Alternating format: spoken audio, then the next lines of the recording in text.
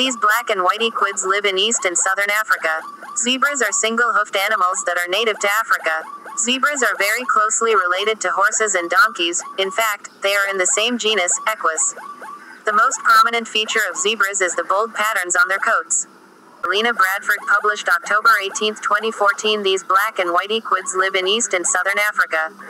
Zebra in the grasslands of the Serengeti at dawn in Tanzania, East Africa. Zebra in the grasslands of the Serengeti at dawn in Tanzania, East Africa. Image credit Shutterstock zebras are single hoofed animals that are native to Africa. Zebras are very closely related to horses and donkeys, in fact, they are in the same genus, Equus. The most prominent feature of zebras is the bold patterns on their coats.